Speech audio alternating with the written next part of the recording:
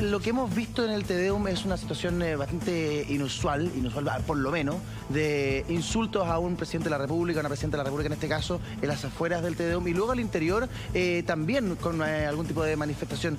De partida, ¿qué te pareció lo que ocurrió aquel día? Mira, antes de hacer, quiero hacer una precisión. Yo no vengo en representación de nadie, no represento al pueblo evangélico. ¿No eres pastor? No soy pastor, hace tres años atrás dejé ya estas funciones.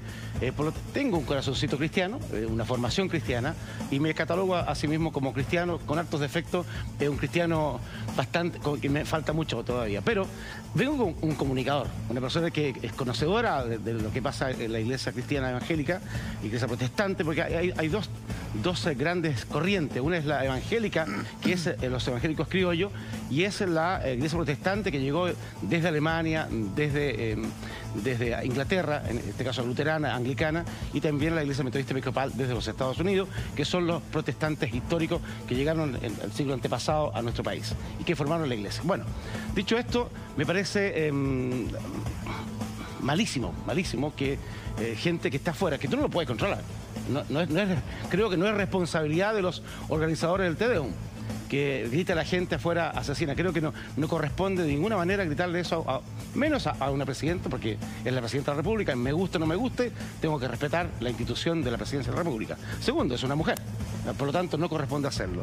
Lo que ocurre adentro, estoy muy de acuerdo con lo que decía eh, el senador Sandón, eh, es un momento, te deum, significa servicio de acción de gracias.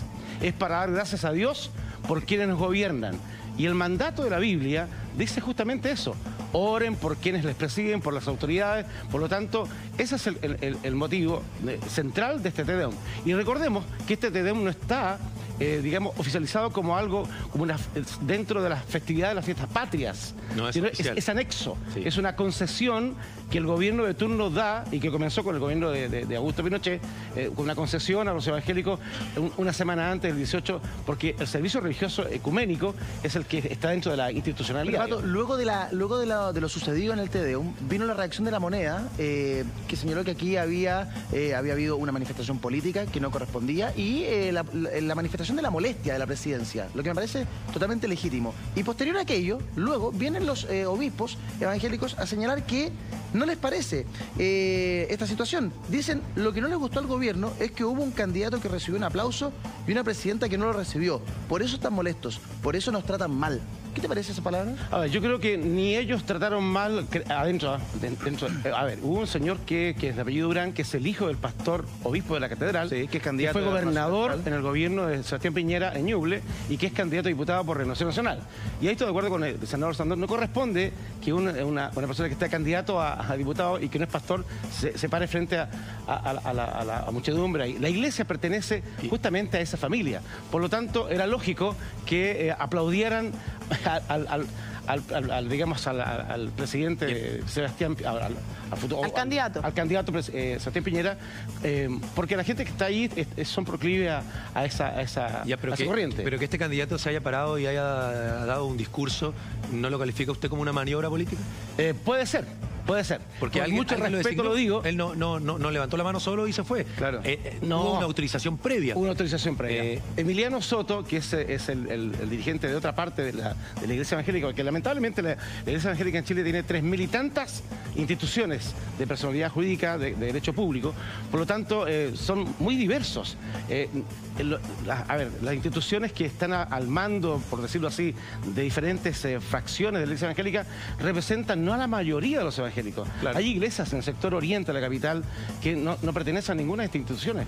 En las iglesias grandes eh, que también existen en nuestros, sectores tampoco pertenecen a instituciones. Hay una iglesia que, fue la de mi padre, eh, que nunca se metió en este asunto, oraban por las personas, por los presidentes, ya fuera izquierda, de centro, de derecha, y era la misión hacer eso. Para entender entonces, dentro del mundo evangélico, ¿hay gente que sí está a favor de, por ejemplo, el aborto en tres causales?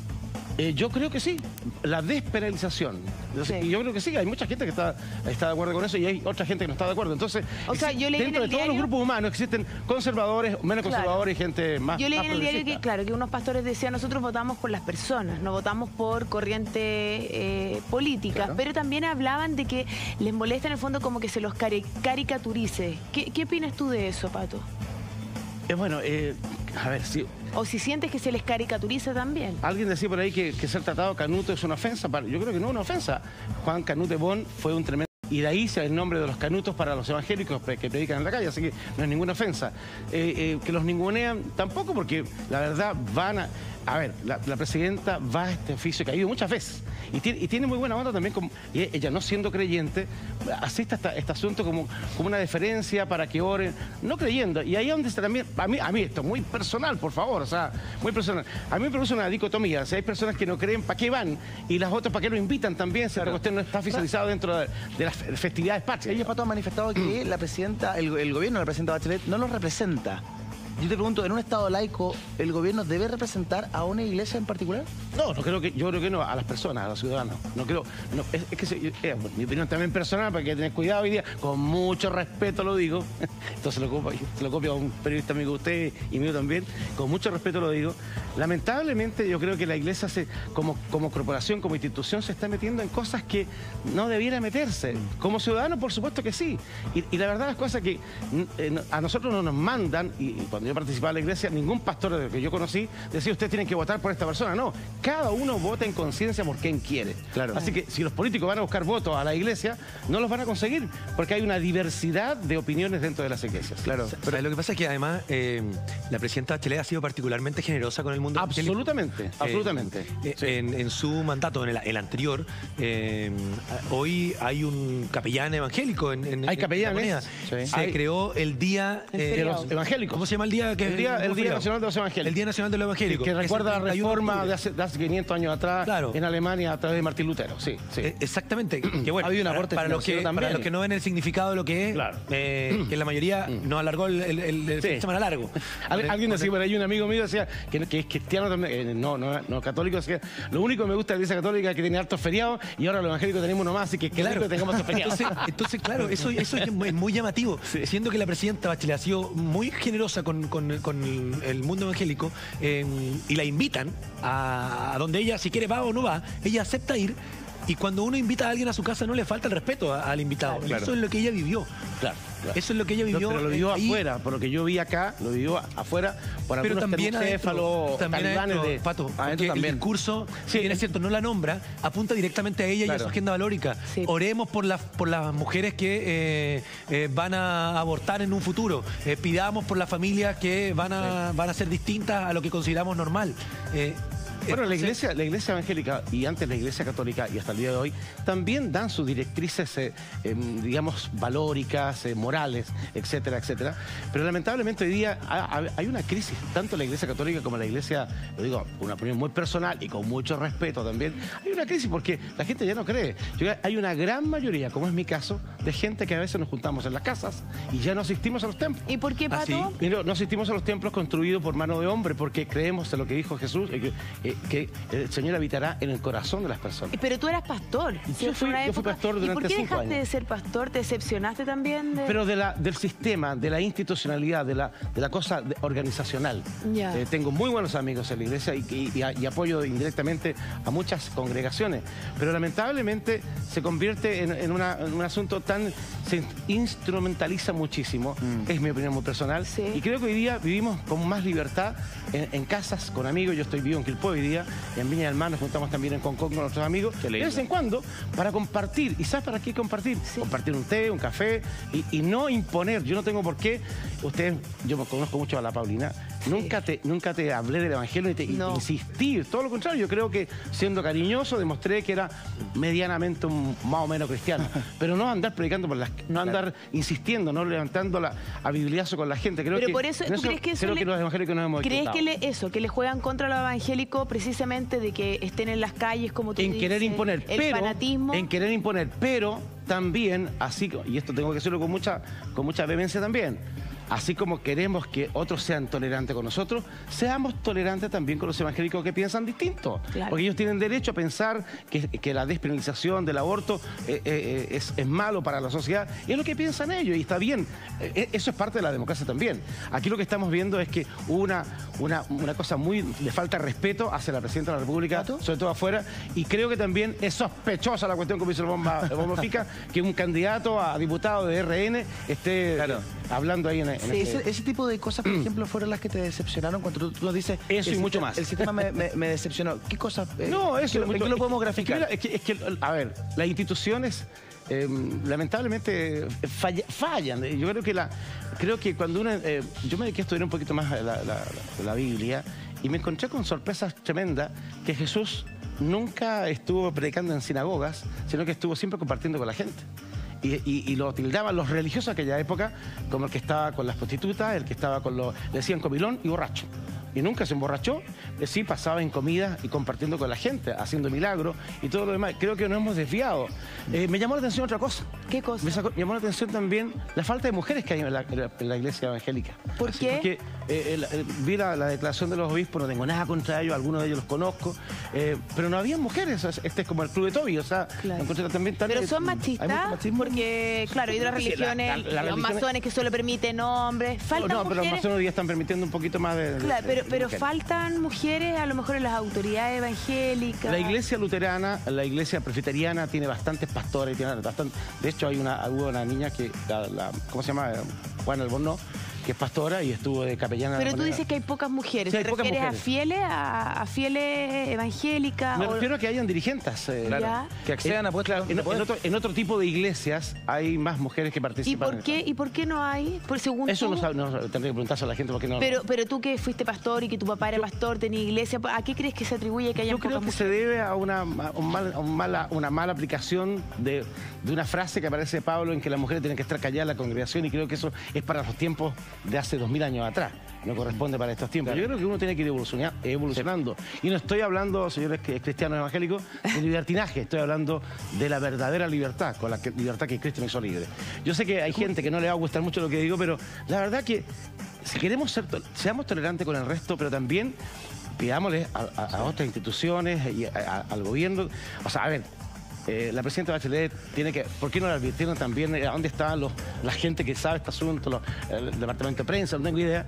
Eh, ¿Qué iba a pasar esto? Estaba candente el asunto de los valores y va para allá y por haberlo suspendido. Pero no la- tengo idea. ¿tú, tú crees que la presidenta no debió haber ido al Tedeum? ¿Debió haber suspendido esta tradición republicana de la que O que le avisaron que iba a estar este o, o que le avisaran que, que estaba, que, que podía pasar esto. Claro. ¿Y qué Claro. pasa si a partir de lo que sucedió se comienza a discutir de que debería eliminarse el Tedeum evangélico? Porque ¿Qué piensas que- tú? que de sí, debiera ser así siempre. O sea, esto, esto no está dentro, lo dije al principio, no está dentro de, la, de las festividades patrias como, como acto oficial. Es una concesión que hace el gobierno de turno a, a- a la iglesia evangélica.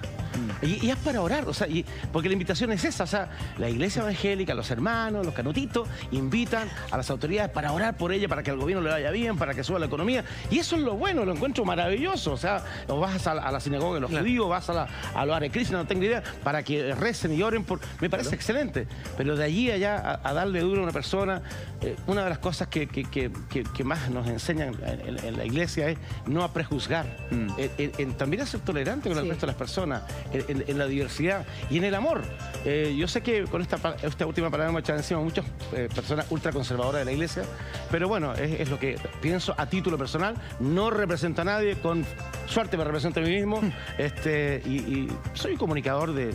Y por eso usted me invita. Oye, me da la sensación de que eh, se sobregiraron un poco en este Tedeum eh, desde el mundo evangélico, y lo digo con mucho respeto, considerando además que hoy día hay cada vez más evangélicos en nuestro país, cada vez son más, son más influyentes. Y siguen creciendo, Eh, ¿ah? y siguen creciendo, Claro. y crecen a tasas muy importantes, mucho más El que la, último que la Iglesia censo lo católica. indica, sí, claro. En el último censo Sí. es testigo de aquello. De hecho, hay senadores que dicen, el senador Moreira específicamente dice que pronto Chile ya va a tener un presidente evangélico. Puede ser. Eh, ese mismo crecimiento los hizo sobregirarse y querer influir de manera más vehemente con la presencia de la presidenta ahí.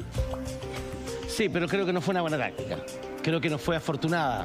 Eh, por, todos los problemas que me están hoy día. Y hoy día creo que están dando un- no, un espectáculo, pero un mal ejemplo de estar. eh, de hecho, están divididos. siempre han estado divididos.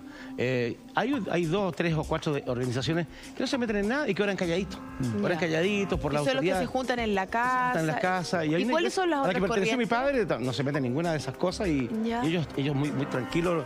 eh, y es una de las iglesias más grandes de Chile que tiene Claro. bastante. ¿Y las otras corrientes cuáles son? Que tú decías que hay algunas corrientes evangélicas, los más tranquilos, los más Yo no diría más tranquilo ni más, ni más intranquilo. tranquilo, ¿ah? No, más tranquilo que oran en la casa sin ir a, a lo mejor... Pero no, no, no pertenecemos a ninguna organización, no tenemos ni un, pastor ni un obispo, sino que no oramos todos. ¿Estás de acuerdo, Pato, con lo que señaló el senador Moreira? ¿Es, plausible, es posible que en el mediano plazo Chile tenga un presidente evangélico? Todo es posible, uno no puede descartar nada en la vida. A mis 61 años pueden pasar muchas cosas. Puede ser posible que sea católico, que sea otro, otro presidente ateo o, otra presidenta, o de la identidad de género, un homosexual, una lesbiana. Puede ser cualquiera. Obviamente. Puede, Chile, está más abierto, podríamos tener, por ejemplo, un presidente homosexual. Yo no sé si está más abierto. Fíjate que de repente creo que a lo mejor hemos ido muy rápido en, este, que nos ha costado bastante. El chileno somos conservadores, nos cuesta arriesgarnos. Cuando uno da opiniones distintas al resto, y hoy día tenemos estas benditas redes sociales donde te dan duro, qué sé yo, eh, tú opinas distinto y ya eres un enemigo público número uno. ¿A ti qué te dicen? Porque tú... Eh, no, yo hace tiempo que no me lo ahora me voy a... para adelgazar voy a... porque, porque ahora eh, yo te he visto que dice con mucho respeto, con cuidado, o sea, como que te mides mucho en tus palabras por temor a, no sé, a que te critiquen las redes sociales. Es que no, no, me gusta que eh, tenga un principio de vida. No me, eh, lo que no quiero que me hagan a mí, no quiero hacer la resto. Claro. Eh, yo no, no, no, prejuzgo lo que pasó en, la, iglesia. Es sospechoso. Es, sospechoso lo que pasó. Solamente aplauso para, el candidato Piñera. Mm. Hay, hay cosas sospechosas, pero también hay que entender que ese grupo de cristianos están eh, enojados, eh, porque lo que decía el pastor... Eh, ¿Enojados por la agenda valórica? Claro, están enojados por eso, porque ellos entienden que se, se está metiendo la vida de sus hijos y, la educación, y etcétera. Y tienen, de, esa perspectiva, tienen mucha razón. Pato, hay muchos sectores políticos que también em, no hablan mal del mundo evangélico, le tienen mucho respeto, porque, son muchos. porque son muchos, más, de dos millones, más de dos millones. Y se dice que definen elecciones. Mm. Entonces, te quiero preguntar si primero votan o no o como la mayoría o como la mayoría se quedan en la casa. y si son ordenados para votar, o sea, si, si desde arriba dicen se vota por tal, va todo el feligrés a votar. ¿La que se dijo? No tengo la verdad absoluta, porque nadie duda de la verdad. Yo hablo del círculo en el cual me, me, he desempeñado. Creo que en ninguna iglesia, no sé, por lo menos las que yo recorrí, jamás el pastor dice voten por una determinada persona. Lo que sí se dice, ustedes voten en conciencia. Y creo que los hermanos evangélicos últimamente no han ido a votar. Pero creo que en esta oportunidad sí va a haber una sorpresa. ¿Por qué? Porque la única manera, en vez de estar reclamando, gritando cosas que no corresponden, vaya a votar. Esa es la forma. Déjense de tantas oraciones, oren, sigamos orando, todo lo demás, pero voten. Porque la presidenta fue elegida democráticamente y la tenemos porque, eh, eh, independiente de la mayoría de la que votó, la, eligió una mayoría. Por lo tanto, hay que respetarla. Y si usted no quiere que sea, sea al contrario, vayan a votar. Y ahí donde peligran. Pero hay una cosa también, y esto es un dato que siempre se lo he dicho a mis amigos políticos, porque tengo hartos amigos también, y, le digo, ¿no creen ustedes que los evangélicos van a votar por una sola persona? hay una diversidad, pero tremenda, de pensamientos dentro de las iglesias evangélicas. Oye, Pato. Dígame, Pablo. Se dice Oye, que... tenía esta cuestión hay que hacer. Bueno, está bueno. ¿Por qué no me invitan una vez a la semana para acá? Cuando quiera, pero es gratis. No problema. ¿En qué topamos y te invito el yumbito? Ah, Oye, chichín. Pato, eh, se dice que ha aumentado mucho, obviamente lo veíamos en el censo, la cantidad de evangélicos en nuestro país. Se habla de 4 millones. Ah, yo, ¿Qué cifras tienes 3 millones. 4 millones. Que 3 millones. 3 millones. Que ¿3 millones? 3 millones no es menor. Es casi el... ¿Cuánto sería? ¿El 20? No. 3 por 5, 15. El como el 20%. Casi el 20%. Casi el 20%. Claro. Casi el 20%. Y, y, y, si fueran a votar todos, sí, pueden, pueden elegir lo que quieran. Hay que reconocer. Yo creo que esos 3 millones, si van a votar todos, el 90% va a votar por las cosas valóricas. Absolutamente. O sea, claro. o sea, y ahí en ese sentido.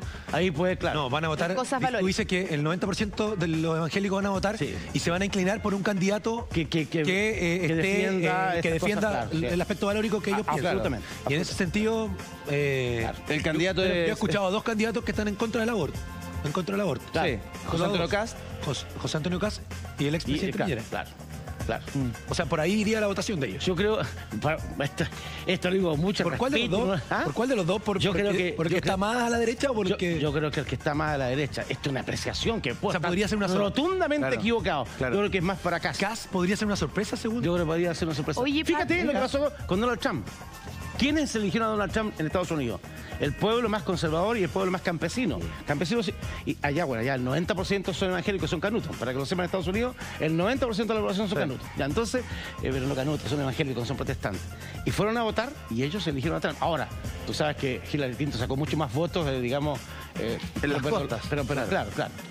Eh, y fue elegido por, por la, porque la gente eh, evangélica fue a votar. Pato, ¿y dónde están concentradas la, ma- la mayor cantidad de población evangélica? Mm. ¿En regiones de nuestro país, en el norte, en el sur, en Santiago? Bueno, en, la, en la ciudad de Temuco, la que tiene más eh, evangélicos. Temuco. Ya. Temuco. Después sigue, la, eh, sigue la- la ciudad de, de- de Lota, Ya. eh, Valparaíso, donde comenzó el avivamiento pentecostal en 1909, que dirigió eh, Huber, este, y bueno, Santiago de Chile Y también. es transversal en cuanto a, a, clases sociales, porque de pronto uno ve ma- mayores, mayor cantidad de iglesias en, en barrios más populares. Sí. Pero hoy día que mucho. Que, a- que a- que a Sí. diferencia del sector oriente. Y siempre ha sido así. Eh, Comenzó en los cerros de Valparaíso, en, en- en- en las, en las tomas, en, eh, en las, ah, esos tiempos se llamaban eh, poblaciones callampas, hace muchos años, Sí. 50 años atrás, eh, marginales. Ahí comenzó, el- porque ellos empezaron, la obra que hacen los evangélicos en Chile es preciosísima. El ejército de salvación es una cuestión mucho más grande que el hogar de Cristo porque funciona a nivel mundial. Y ellos están tranquilitos, trabajando allí, ayudando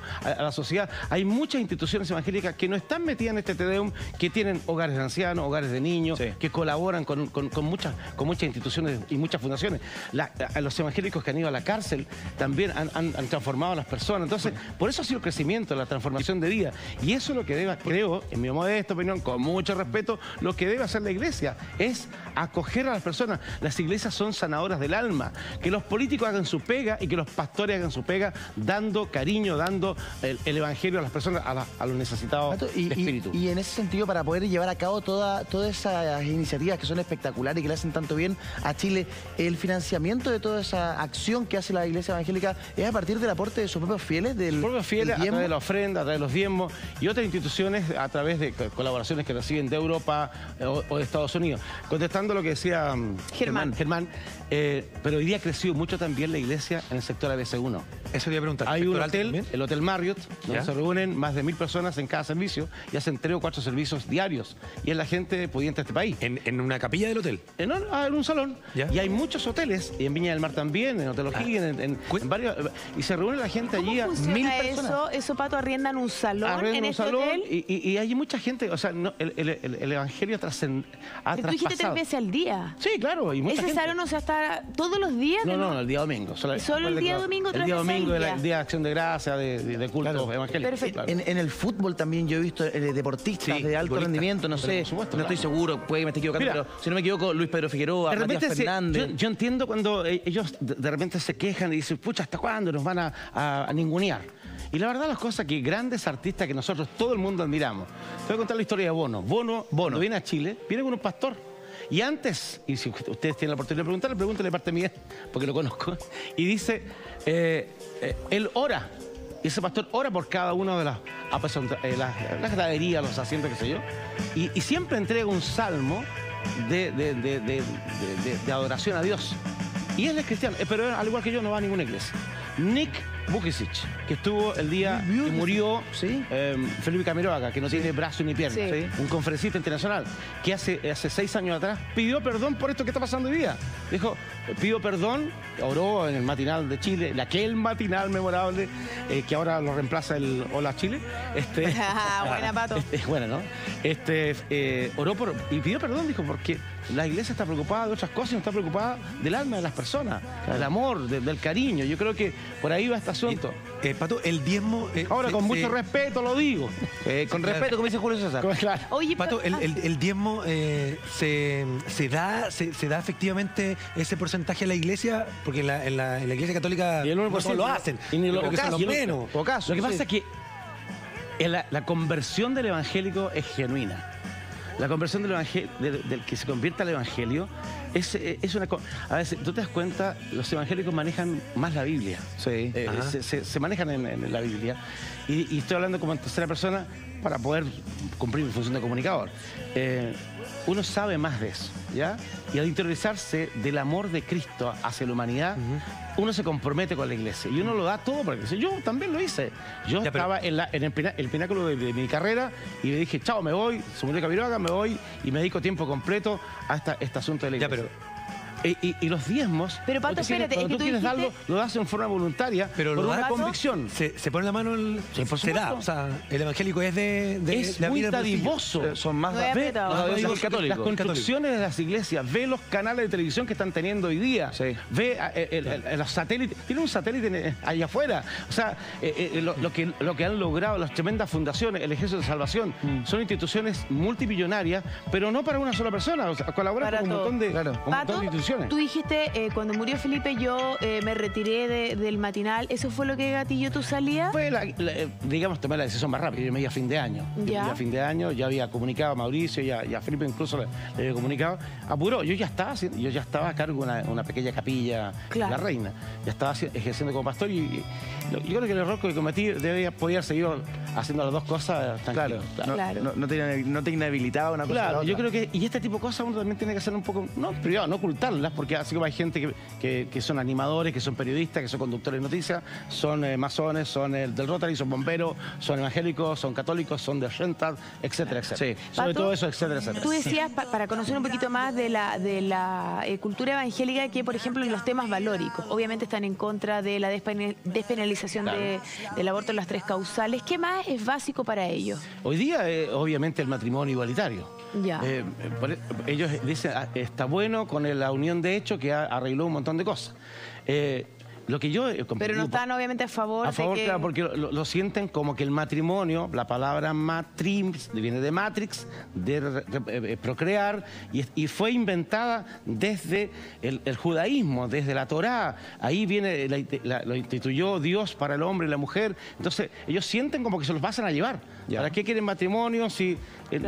es, yo creo, por ahí va la... ¿Tú, Pato, en términos personales, ¿Estás de acuerdo con el matrimonio homosexual? Yo puedo no estar de acuerdo, pero yo no tengo por qué privar a la persona si, si, hay una ley en Chile que, que y creo que lo puede haber eh, no, tengo por qué ponerme, no tengo por qué... Pero tú no estás de acuerdo, tú, yo, yo, no, estoy de acuerdo por, por, mis valores, pero, pero si quieren casarse, cásense. Yo no los voy a casar, Claro. Pero son, respetuosos los evangélicos porque pasa mucho, siento yo, en nuestro país que cuando uno no está de acuerdo con la opinión de Eduardo, como que hemos perdido un poco el, respeto en general, en cualquier Para ambos lados. Claro, si algo no me gusta a mí, como que quiero obligar al otro que piense como yo. ¿Cómo, cómo son los, evangélicos? ¿Son respetuosos? Bueno, hay algunos, como en todas instituciones, hay algunos que son los que, los que a la presidenta esas palabras que no corresponden. Por supuesto. y hay otros que son como eh, voy a nombrarlo, eh, Emiliano Soto, que, pidió disculpas, eh, Jorge Cárdenas Brito, que es un dirigente de la, Iglesia Presbiteriana, un destacado psiquiatra, un teólogo, un tremendo teólogo, que también dice no, no corresponde, y al que recién veíamos acá en pantalla, y otras personas que también se ofuscan un poco porque también creen que le han puesto la pata encima, y también es, es, comprensible ese sector. Y yo creo que uno, tiene que ceder, uno tiene que, en este, en este panel. Están ustedes conduciendo y y empezamos a pelear, yo creo que no, damos ningún buen pues, ejemplo para el resto. No avanzamos. No avanzamos. Pato, en todas las religiones las nuevas generaciones van cambiando el, patrón. Qué, bueno qué bueno que dijiste. Que conocemos. Sí, ¿Cómo son los niños, los adolescentes? No, mira, ¿cómo son los profesionales? Eh, los, cabros que tienen, tú tienes, no sé, 27 a 30 años más o menos. Ah, muchas gracias. Sí, 24. Ya, 24. Ah, haciendo la práctica. Mira, los cabros jóvenes hoy día son son, más abiertos. Son periodistas, son médicos, son psiquiatras, son comunicadores, etcétera. Están en otra onda. Se están metiendo también en la política, porque antiguamente la gente evangélica estaba encerrada en los templos. Mm. hoy día tienen acceso a la universidad y están discutiendo desde, ese escenario, de esa, de esa eh, plataforma, están eh, llevando el evangelio ellos de una forma distinta, mm. como, como a lo mejor lo hice yo, digamos, sin andar a, a, predicando.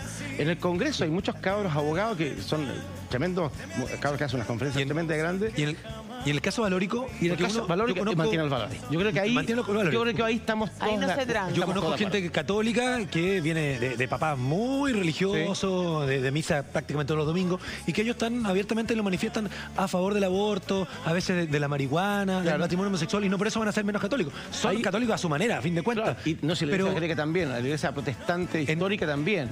Eh, hay una corriente, eh, que no me voy a poner a explicar acá porque es, es media la- latera, Ya. eh, entre los arminia- arminianistas y los calvinistas. Y los calvinistas son un poco más liberales, que se Pero tú dices que los jóvenes tienen igual de rígido la parte valórica. Em, yo creo que sí, y si, si tú te fijas la cantidad de jóvenes que el día domingo están de, de, de, cor- de- De terno y corbata, porque son predicando muy, en las calles. Y bien. son cabros, son periodistas, son Claro. militares, son abogados, etcétera. Pato, y si uno se quisiera convertir, eh, porque claro, cuando uno conoce gente a lo mejor que es católica y se convierte al judaísmo, por ejemplo, por amor o por la, la razón que sea, hay todo un proceso, Mm. etcétera. ¿Cómo, ¿Cómo es el caso de los evangélicos?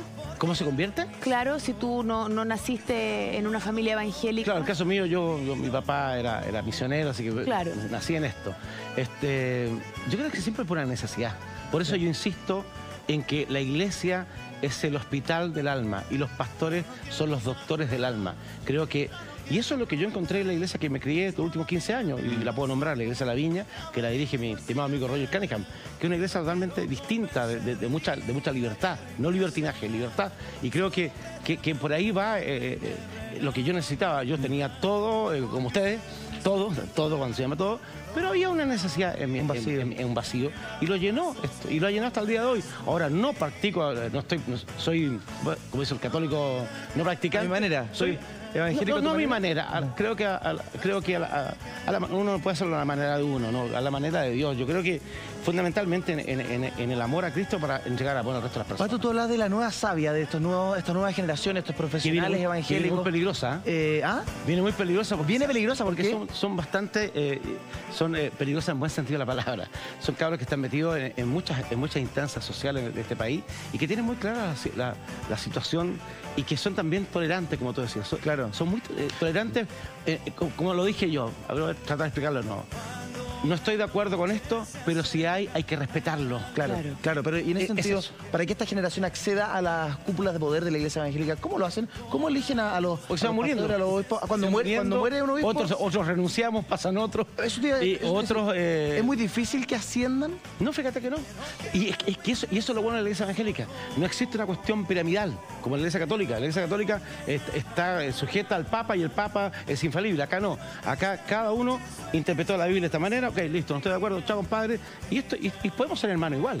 Y eso es lo que sucede en el mundo entero. Y aquí tenemos más de 3.000 congregaciones distintas.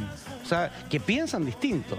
Mayoritariamente está, como tú decías, Germán, en la- en las poblaciones, los barrios populares, qué sé yo. Vuelvo a preguntarte por tu opinión personal, Pato 8 con 26. Eh, en la despenalización del... Perdón, déjame decir la hora. 8 de la mañana, 26 minutos. Hacemos hola Chile. hola, hola, ah, hola, hola, Chile. Oye, ¿se- ¿y tienen locutores nuevos aquí o no? No tenemos. Estamos Abierto, abierto el buscando. Déjanos abierto el Este casting. es el casting al aire, po. Ya, po. Oye, espérate, déjame botar el switch. ¿Cómo, lo- ¿Cómo está, Patito? Sí, pues Está po. bueno. Sí. Está bueno. ¿Quién es? Está bueno. Un amigo, un amigo nuestro que tenemos grabado eso. Única frase que tenemos. Oye, eh, en, en tu caso personal, ¿estás de acuerdo con la despenalización del aborto en las tres causales o no? Es complicado. Es complicado porque tengo una contradicción ahí. Tengo una contradicción. Porque la palabra despenalización justamente es para, para facilitar casos extremos. Y creo que por ahí yo estoy de acuerdo. Por ahí. Lo que no estoy de acuerdo es la interrupción de la vida. Y te lo voy a poner del siguiente ejemplo. Tengo una hija de 16 años. Y siempre me hicieron esa pregunta. Si mi hija fuera violada, y, y- y- queda la grande, y mi hija tiene 16 años, y quedó embarazada. La decisión la tomará su mamá, yo y la hija. Pero en mi caso, me costaría muchísimo proveer para un aborto de ese niño o niña. ¿Por qué? Porque es sangre de mi sangre, aunque no me guste. ¿Qué culpa tiene ese bebé? Si el problema es el violador, ¿cómo arreglamos al violador? ¿Y cómo yo voy a acompañar a, a mi hija? Creo que ahí donde está... Pero el, asu- el otro del quirúrgico, ¿cómo se llama el, el- otro por, por- por la- En caso de riesgo de, De la y el- del- eso siempre ha estado, eso siempre ha estado y por lo tanto está bien que se Pero ahí, penalice. tú- pero ahí tú estás planteando decidir, en tor- en- en- en decidir por sobre tu hija. No, no, en, comunión con mi hija. lo he conversado, lo hemos conversado. O sea, una, cosa es conversarlo y otra cosa es vivirlo. En dos de las tres causales estás de acuerdo, pero en la de violación tienes tus dudas. Tengo mis dudas y eh, por supuesto que sí, absolutamente. Porque soy pro vida. O sea, ¿qué culpa tiene esa, vida que viene ahí naciendo? Y además que uno ha visto cómo la sacan y cómo lo que sucede. Pero te fijas además, Pato, que también tiene mucho que ver cuando uno se pone, cuando uno ya es mamá, ya es papá, y te pone en el, porque en el caso de uno, uno es grande, eh, yo participé en la campaña y yo no lo haría, pero no por eso voy a, no voy a permitir o voy a estar en contra de que otras mujeres decían por sobre su cuerpo. Qué bueno lo que dijiste. ¿Me, entiendes? Entonces, pero cuando es la hija de uno, yo creo que ahí, ahí pasa lo que te pasa a ti. Que pese a todas tus convicciones, es tu hija la que podría haber sido violada. Si tú, tú lo haces, yo no puedo, no puedo prejuzgarte a ti. Exacto. Tengo que dejarte la libertad para hacerlo. Y, las leyes de este país tienen que estar de acuerdo para que lo puedas, para que no te vayas a la cárcel. Claro. Y ahí por eso digo que hay una contradicción. Y hay que entenderlo de esa manera. Eh, yo no puedo imponerte mis valores. Eh, eh, no. Y es re fácil hablar de los valores. Claro. Es re fácil hablar de los valores cuando uno está sobre la mesa y conversando conversando, predicando en el púlpito, y es muy fácil. Pero cuando tú estás en una situación complicada, ahí está la, decisión que uno tiene que tomar. Y lamentablemente, eh, eh, hoy día ninguna de las dos Pucha, sé cómo meter un lío con esto. Mi mamá tiene 80 años, me, me dice en Concepción, no digan nada. no digan nada. Pero me gusta decirlo, porque ya está bueno ya. Tengo 61 años y quiero por lo menos dejar mi opinión. Creo que las dos iglesias, tanto católica como evangélica, han fallado en apartarse del real, la real misión, que es acoger mm. a los débiles, es acoger a las personas que tenemos necesidad. Y me considero dentro de esos débiles. Creo que por ahí va.